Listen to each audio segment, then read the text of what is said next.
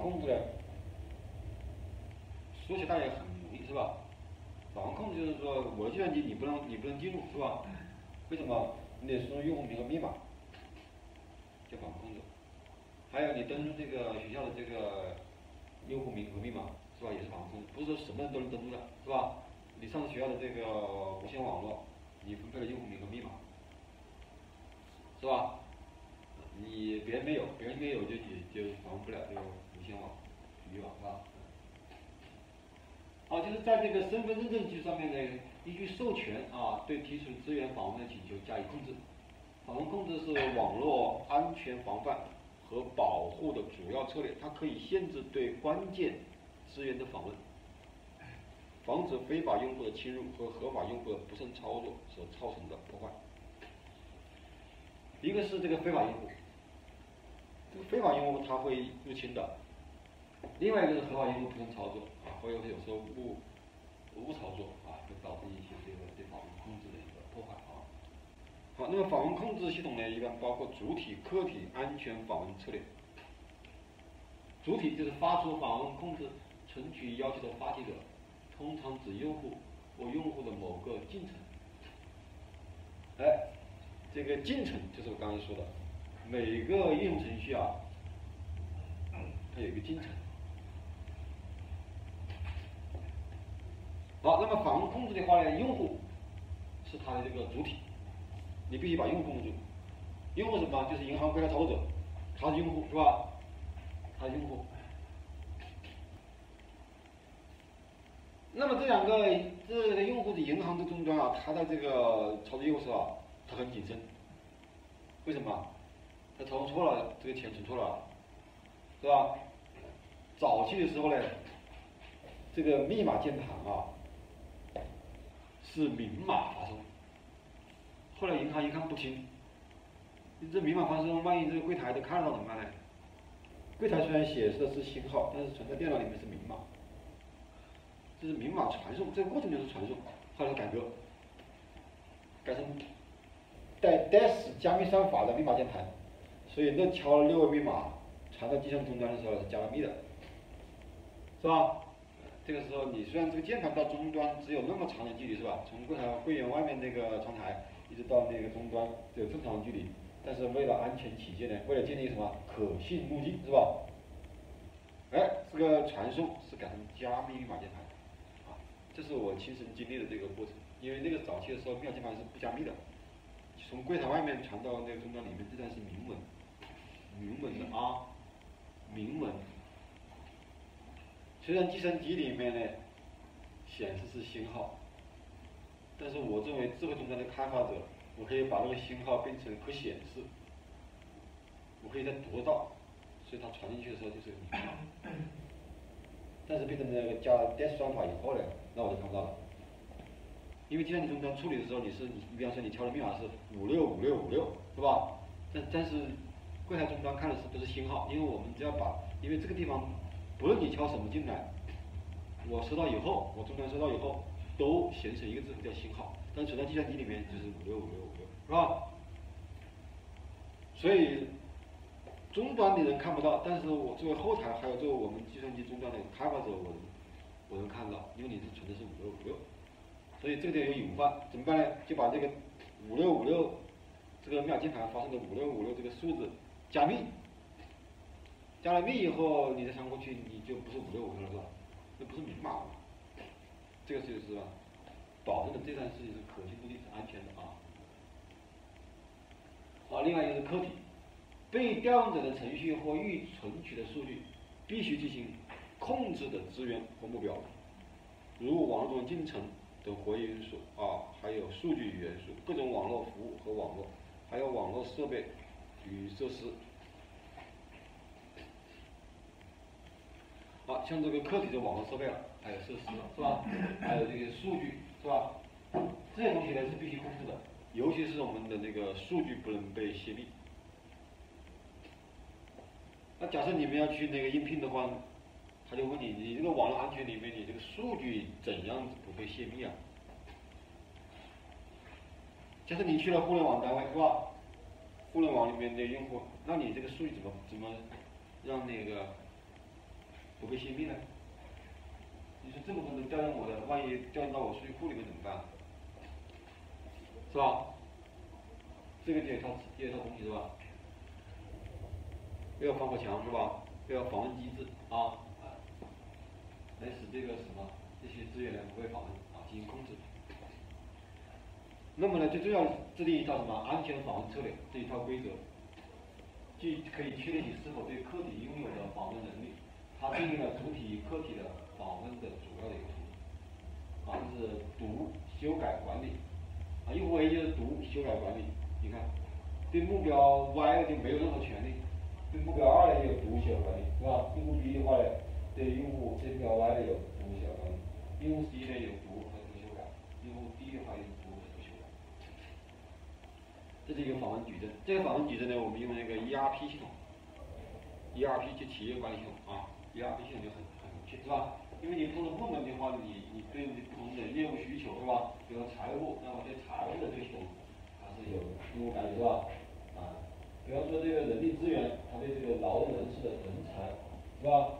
啊，比方说你是那个仓库的，那么呢，你可能就是要对你的这个库存进行修改，是吧？如何修改，是吧？啊，你比方说你是这个销售的，你可能对什么销售量啊、销售额啊，啊，如何修改，是吧？对你的工资这些东西来进行读，是吧？这样的话呢，它的这个权限是不一样的啊，啊，你不能够。全是读修改管理，那就不行了，是吧？好，这个访问控制呢，主要是对进入网络和系统的一个访问控制。那么首先是这个网络访问控制。这个网络访问控制的话呢，这个我们相对来说比较熟悉一点点。它是限制外部对网络服务的一个访问，Unix 这个文件系统啊，网络访问控制的话呢，的这个属性有原 IP 地址。原端口、目的 IP 地址和目的端口啊。我们这个一般的话，这个访问的过程中间都是对这个 IP 啊进行一个一个限制，是吧？一个 MAC 进行限制。那么这有一个 MAC 地址，这个 PC，这个 PC。那么这个 MAC 地址，验证。你们校园网不是那个都是有个 MAC 地址吗？是吧？登记完以后，然后。就能进去是吧？你换一个机器，你要改这个麦口是吧？把本机麦口改改一下，改登记的，你就进去了是吧？呃，你路由器也是的是吧？你把路由器设成那个你登记的麦口，你就可以登可以进去了是吧？啊，所以这是它本本意呢，就是说，就是这个麦口要要要一样是吧？但是现在麦口可以改，所以改成一样就行了是吧？它是，但是它作为最早期的话，就是这个麦口的话，它登记的啊。但是在但是在大型的网络里面，这个 MAC 地址你不知道，就是你自己登记你知道是吧？但是别人登记的你不知道是吧？别人登记的不知道的话，你就还不了。还有一种就是那个系统访控制，系统访控制呢是以文件系统为例啊的属性，有用户、有组、有资源、有文件、有权限啊。那么这个系统访问控制里面最重要的是这个组，这个组的话呢是。是安全管理的一个一单一个单元啊，这个单位的话，这个组的话和域它是连在一起的啊，它们容易形成一个防控的一个权限控制啊，啊，提供这个，那么系统呢这个通常会有防火墙来来实现这个防御啊，系统防控制为不同用户赋予不同的主机资源访问权限，操作系统呢提供一定的功能。是系统访问控制。那么系统访问控制的话呢，我们一般就是一个合法的用户名与口令。好，这就是一个合法的用户名与口令啊。用户名是 guess，是吧？你猜，嗯。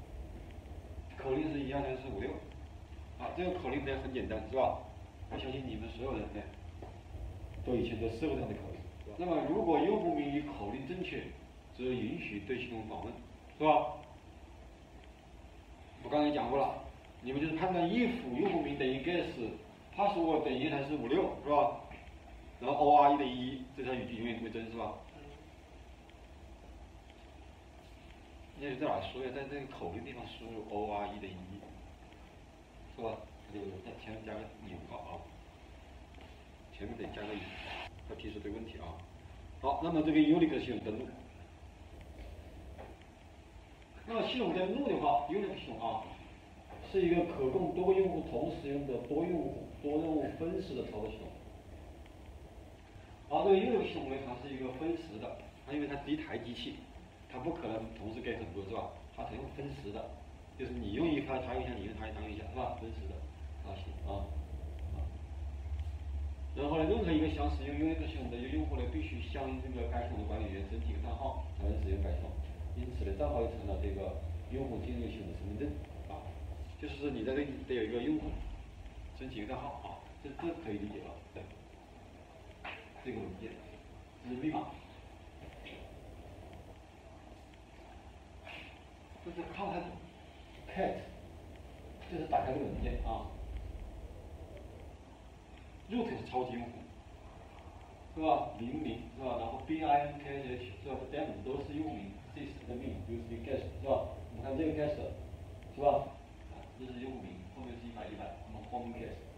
但是这个里面的话，你看到没有？它是每个文件里面有个标识，每两个部分之间用分冒分开，其含义是登录名称、口令、用户标识号、主标识号、用户起始目标，它这标识号。它没有这个密码在里面，没放进去，所以你看这文件里面看不到它的实际密码是什么，是吧？你看这有用户名是吧？但是口令的话你看不到，这是给给你什么？登录名称，你看这口令用惊叹给你给你给你惊叹号给你浓缩了，所以你不知道这个惊叹号里面隐藏了什么，这是口令。后面就是什么用户标识号，标识号是一百，主号。都是一百，这后面在一个组里面，用户标识号你进去的时候给你标识号，是吧？然后用户起始目标一般都在这个主页的首页的这个 guest 目录里面，它一般都是都是这种，都是在这个目录里面的有时间强调一些，是吧？然后你要看别人这个进程号也很有意思，就是 catpib 进程号，把别人进程号给调出来。好，后来九五年以后呢，这个 XP 就出来了。首先，它会有一个强制性登录，使用 Ctrl+RDL 组件，是吧？这个建议出来以后，我们就是一个强制用户名和密码，是吧？这什么？强制性强制访问。但是这个强制访问呢，我们认为是一个可信路径啊，是一个可信路径。那么入侵者呢，可能会模仿 Windows 两千十二登录界面，强制登录可以阻止欺骗行为。就是说，用就是入侵者，他可以模仿你登录界面，帮你干一个，那么你就把用户名密码不泄露出去了，是吧？给你模仿一个钓鱼网钓鱼网页，是吧？那你把用户名密码泄露出去以后，别人就可以远程登录，是吧？所以你每登录按 Ctrl+Alt+Del 键进行登录，黑客是进不来的。但是你不按那键突然冒出一个，欢迎使用啊，请输入用户名和密码，那就有可能是黑客设的陷阱。是吧？那你掉进去了，那就那就没办法了，没人救你了，是吧？好，事实上我们讲怎么回事呢？事实上就比如啊，比如你这个听的这个 M 听的 M P 三是吧？听的歌是吧？听的歌，然后呢，按一下这个 Ctrl Alt D L 键，初始化，会出现三个界面：一个应用程序桌面，一个屏幕保护。也可以在 log 一下，边修改密码边听 MP3，不会有木马在后台操作记录吗？因为不会，因为这 Ctrl Alt D L 键啊，这个键是强登录的，它是别人改都改不了的，这是用户出来的啊，别人进进不了，为什么呢？因为是安全策略上面的只有 WinLog，就是 Ctrl Alt D L 按下去以后啊，可以访问到这个 WinLog 界面，其他两个桌面呢只能访问所属进程。因为此用户进程在 SARS 激发后，就是按这个键以后啊，按这个 Ctrl B 键以后呢，按进键以后呢，不会并不会被杀死，那他们也不能访问 Windows 桌面以偷窃用户口令，这就是 Windows 特色的可信路径道路的实现。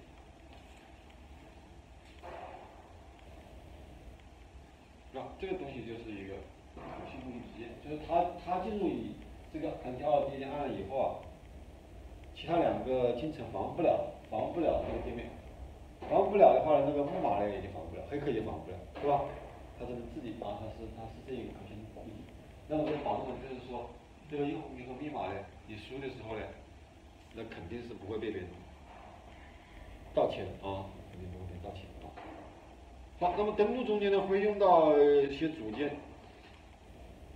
这个登录啊，这个 WinLog 一启动以后，就让你输用户名和密码。好，这个时候这个登录管理器里面呢，这个点 exe 文件它是这个 Win32 点 Let's Guide 的网络间谍啊。有蠕虫病毒，该病毒通过 email 传播，就是说这个 Windows 点 exe 啊系统里面的文件，但是呢，这个病毒的这个文件呢，它也叫 Windows 点 exe，所以你都不知道这个东西你是感染还是没感染，所以病毒它取的名字的话呢，它取的跟系统名字完全一样，所以你杀的时候你都不知道杀谁，但是它唯一它是个小写，感觉是的啊。大写小写是什么事？反正就是说，它跟 Windows 点 exe 的话呢，跟系统文件名很很相像啊。这个时候呢，它就是一个，它是一个蠕虫病毒，是一个网络间谍啊。另外一个图形化识别和验证，就是你输入用户名和密码的时候啊，是一个图形化东西，是吧？那个图形化东西呢，有个 DINA，这个 DINA 啊，GINA 是个什么东西呢？是 graphical identification and authentication，是个图形化识别和验证。它是几个动态的数据库文件，对 WinLog 点一繁手调用，为其提供能够对用户身份进行识别和验证的函数，并将用户的账号和密码反馈给 WinLog 点。在登录过程中，欢迎屏幕的我登录对话框就是 D N D I N A 的显示啊显示的。那么这个里面就有个病毒软件了，一些主题设置软件，比如 StyleXP 就是主题的 XP，可以指定义 Logo 加载管加载商家自己开发的 DNA，从而提供不同的 Windows XP 的这个界面。由于这个修改出现了盗取账号和密码的密码，所以这个 DNA 的话呢，它有这个问题。它虽然提供了个方便，是吧？哎，提供了你可以改，你可以设置，是吧？你可以设置这个软件。那么你一设置这个软件，设置这个主题，是吧？我们在用户界面可以设置是吧？主题是吧？设置完以后呢，好，你可以设置是吧？你可以设置行，我这个主题软件里面加个加个木马，加个病毒。你用我的这个主题软件和密码来设置，我都很漂亮，是吧？我的黑客设计的肯定很漂亮，是吧？然后你用我的主题软件和密码。然后可以盗取你的账号和密码，这样这样一这样一个套路啊。一种是针对这个欢迎屏幕的登录方式的木马，因为你这个欢迎屏幕你可以你可以设置嘛。好，那我就给你来一个设置的，在这里你加个木马，它模拟了 Windows XP 的一个欢迎界面。当用户输入密码后，被木马程序所获取，而用户就全然复制。所以建议大家不要用欢迎屏幕登录，而要选择安全登录。啊，另外一个针对登录对话框的 DINA 密码是图形化的，输入用户名和密码的，其原理是登录加载，以盗取用户的账号和密码，然后把这些这些信息保存到 System User Settings 二下的这个 Windows Drop Data 该木马会屏蔽以欢迎屏幕方式登录和用户切换的功能，也会屏蔽 Ctrl Alt L 这些键。哎，这一点呢，是这个黑客的这个高明之处，是吧？你一按 Ctrl 二 D 二按不了了，哎，是吧？只能用我登录，只用我登录以后呢，登录完以后我就把这个口令跟密码给记下来了，然后呢，通过木马再发走，是吧？木马发走以后呢，我就成功的获取了你的这个机器的用户名和密码，是吧？这就是什么 gia 的木马啊。好，另外一个是本地授权安安全授权服务，LSA。好，这个 LSA 是本地 Local Security Authority，是本地安全授权的，是 Windows 系统中的一个相当重要的服务啊。这个所有的安全认证呢，都在这个地方通过这个服务。它是从这个 WinLog 点 exe 中获取用户的账号和密码，然后通过密钥机制处理，并和存储在账号。数据库中的密钥进行对比，如果对比结果匹配，ASA 就认为用户的身份是有效的，允许用户登录计算机。如果对比的结果呢不匹配，ASA 就认为用户这个身份证无效，这使用户呢就无法登录计算机。这个 LSA 的话呢，它是一个这个安全的一个授权啊，它比较你的用户名和密码是吧？和我这个机器里面存的是不是一样？如果对了，那么就过去；如果不对了就不行。这里面呢有个漏洞，震荡波蠕虫就是利用这个 LSA 远程缓冲区溢出漏洞而获得系统最高权限申请来攻击电脑。说因为你这个东西存的东西不是很多是吧？有限。那么远程的时候呢，我这个它缓冲区就会溢出，一溢出的话呢，一溢出我这个数据区和程序区就不够了是吧？那么我这个缓冲区。这个数据区就会覆盖到程序区。这个缓冲区的漏洞，溢出漏洞的这个原理就是数据区过于庞大。数据区过于庞大以后呢，就数据区存存不下了，它就会什么？计算机不会把它丢掉，就把数据区内容就会放到什么？切换到程序区。它两个存储嘛，数据区满了就要放到程序区，程序区里面造程序是吧？那数据区里面呢，不光是数据，数据区里面的话呢，黑客呢会把数据区的后面一部分，就是程序，正好覆盖到你的这个程序区里面，它会定好了地址，所以，你这个程序呢就被那个黑客程序所覆盖，这样的话呢，就能达到什么？获得 setting 最高权限来攻击你的电脑，它就利用这种原理，刚刚说的就是数据区的东西满了溢出。到程序区，把程序内容给覆盖了，而覆盖的东西恰恰就是这个什么，是黑客精心设计的程序，在这里开始运行，然后，要不是黑客程序怎么到你电脑来呢？它必须有一个入口，是吧？它不可能卡到你程序区里面，不可能是吧？它通过数据区，因为数据区是唯一的一个什么接收数据的一个窗口，当它满了以后，计算机不会把它丢掉，它会放到程序区。好，这程序区好了，就进来了，是吧？就覆盖了你程序区内容。这样的话呢，黑客程序自然而然就到了你的程序区。所以呢，黑客的程序就这么进来了。所以呢，利用你的什么漏洞，就入侵进来。所以你的，你的这个机器里面就变成了黑客控制了。所以这个很可怕，对吧？好，另外一个就是 SAM 数据库。这个数据库呢是保存的是绝密东西。它是保存在 Windows 下面的啊，Windows 下面的 System Config 文件下的 SAM 文件，它把它的所有的主账户信息，还有密码，密码是哈希的，那哈希密码，那是经过加密了的啊，还有账户的这个 SID。好，这个这个病毒的话呢，也很厉害。这里面是一个 ASM 数据库漏洞入侵，它是一个纯这个。密码的一个文件数据库啊，这个单文件。那么这个文件的话是，尽管 SM 数据库文件受到了超系统的保护，但黑客仍然可以利用 SM 数据库的安全隐患，对本地计算机进行攻击。首先呢，让 SM 文件失效啊，就可以进行攻击。方法主要是改名或者删除。一般是就是说 SM 文件是无法被自己打开的，但却可以借助导出的工具 PWDUMP3 先导出 SM 文件。然后用破解工具 L O L O P H crack 来破解。好，在系统前端的启动系统盘，进入这个 system 这个，并用命令改掉它，然后用 D L 命令来删除，然后再删计算机就可以。最后修改这个和删除 SM 文件以后，用用管理者进行登录啊，登录以后看到一个名为 SM 文件，这系统是自己创建的，为这个记录密码和和这个校验。其实，这个操系统里面有个安全隐患，主要是账号全部存在 SM 文件中，因此一旦 SM 被他人改动的话，系统就会在启动时报错，并直接启动，彻底崩溃。而且 SM 文件一旦丢失呢，系统另一个证据件没有效应和恢复 SM 文件就暴露无遗了。啊，它这个文件就相当于我们数据库，是吧？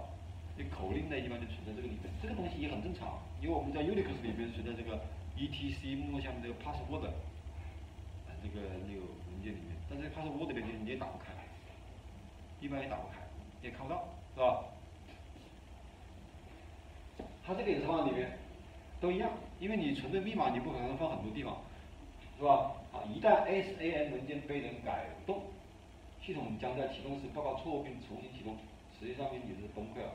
而且 SAM 文件一旦丢失，系统另一个致命缺陷，没有效验恢恢复 SAM 文件的能力就暴露无遗了。好，这个 SAM 考虑文件呢，它就有这样一个缺陷啊。在这个缺陷目前来看的话，我们的明梯的话我看到还是有，是吧？其他系统的我没有验证啊，好像也有，应该是也还是，但是呢可能它会稍微保护一下啊。